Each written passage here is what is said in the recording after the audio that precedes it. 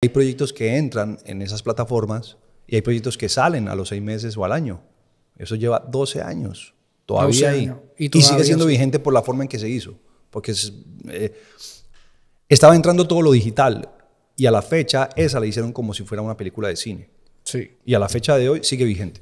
sí, sí. Entonces, Sí, que entonces esa fue la que le dieron más producción, con, me imagino con la área Alexa, cámaras bien grandes o lo que sea. claro, claro, y estábamos grabando escenas a una cámara, a veces habían dos cámaras. Y esa fue tu primera serie que tú saliste, vi como que ciento y pi- 100 capítulos más, quizá, o cuántos capítulos. 85, bueno, nosotros hicimos más o menos 100, no, hicimos como 85 capítulos y al aire, en Guapa, en Guapa la dieron, Sí, al aire solo claro. eran como 100, 100 y puta de, capi- Sí. de, de capítulos. Exacto. Pero porque los recortaban para Sí, poder tener a la gente más enganchada ahí para Sí, la pauta como publicitaria. 120 llegó en Guapa, me Exacto, acuerdo. Exacto, pero si tú lo ves en Netflix son 85 capítulos. Ok.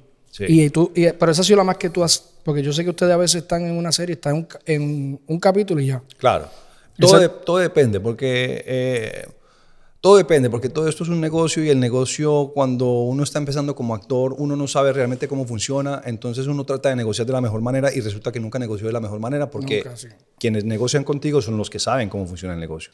Entonces a veces uno negocia y negocia capítulos de capítulo. Sí, capítulo. Y te dicen, ah, un ejemplo, eh, para, para, para lo que era el peso en Colombia en esa época, un capítulo eh, millón y medio. A la época eran más o menos unos eh, 300, no, eran unos 500 dólares.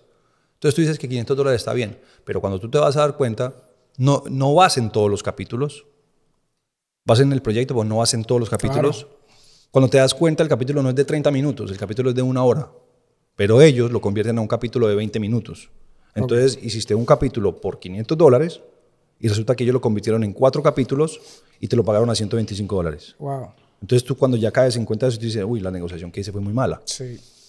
Pero bueno, no importa. Eh, eso es, eh, todo el es mundo. así, exacto, todo es así, es un negocio. Entonces, eh, a medida que uno va aprendiendo, uno ya va aprendiendo cómo negociar.